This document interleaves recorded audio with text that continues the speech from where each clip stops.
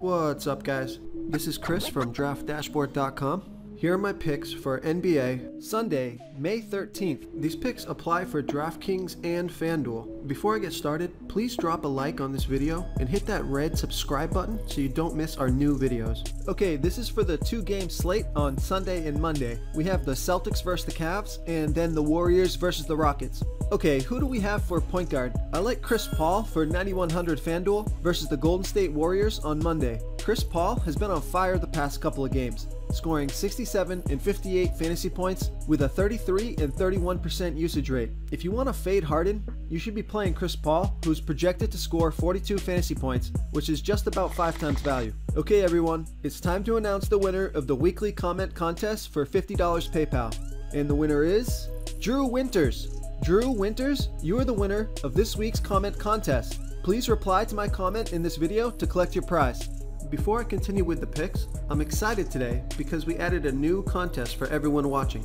If you want to enter the drawing for $50 PayPal, all you need to do is like this video, hit that subscribe button, and make a quick comment below to be entered into the drawing. We'll reply to a random comment and let you know that you won, and then we'll send you $50 PayPal.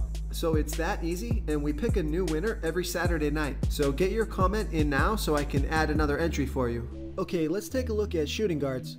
Lots of good options at shooting guard. Klay Thompson, always a good play under 7K. James Harden at 11,700 and Jaylen Brown at 6,700, who should be at full strength after resting his hamstring.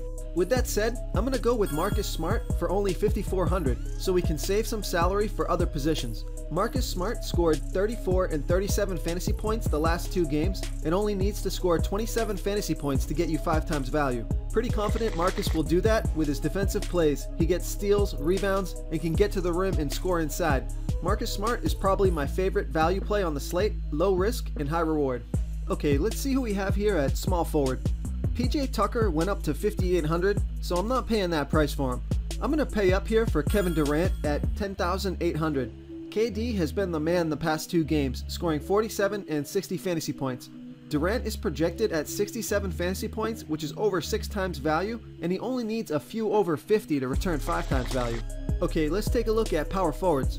If you have the salary, pay up for Draymond Green at 9,000, but if you need to go cheap here, have a look at Luc Richard Mbah a Moute at 3700. He's the only guy priced down and you'll need to take a shot with some low salary guys to fit in the studs like KD, Curry, LeBron, or Harden. Mbah a Moute played 20 minutes last game and scored 14 fantasy points. At 3700, he'll only need about 15 fantasy points to return 5 times value. Okay, moving on to the center position.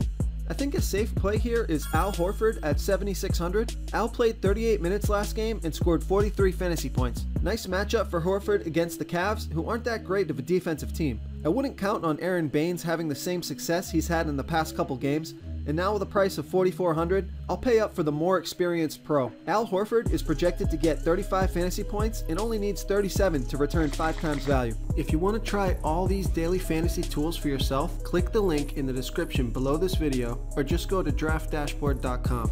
You can use our DFS lineup optimizer to build quality lineups using our picks and your own custom player pool. Click the link in the description below this video and try all these daily fantasy tools right now. Thanks so much for watching. Oh, and don't forget to subscribe to this channel and hit that bell icon so you can get instant updates whenever we post a new video.